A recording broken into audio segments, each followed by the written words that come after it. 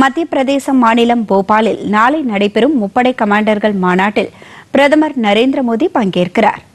தயார் மறுமலர்ச்சி சரியான நடவடிக்கை என்ற தலைப்பில் பாதுகாப்பு தொடர்பான மூன்று நாள் மாநாடு போபாலில் நேற்று தொடங்கியது. இந்த மாநாட்டில் பாதுகாப்பு அமைச்சர் ராஜ்நாத் சிங் முப்படைகளின் தளபதிகளும் ராணுவ உயரதிகாரிகளும் பங்கேற்றுள்ளனர்.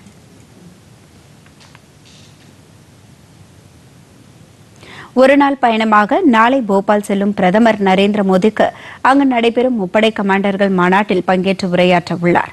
இந்நிகழ்ச்சியை தொடர்ந்து போபாலுக்கும் புதுதில்லிக்கும் இடையே இயக்கப்பட உள்ள புதிய வந்தே பாரத் விரைவு ரயில் சேவையையும் பிரதமர் நரேந்திர மோடி தொடங்கி வைக்கிறார். பிரதமரின் போபால் பயணத்தையொட்டி அங்கு விரிவான பாதுகாப்பு ஏற்பாடுகள் செய்யப்பட்டுள்ளன.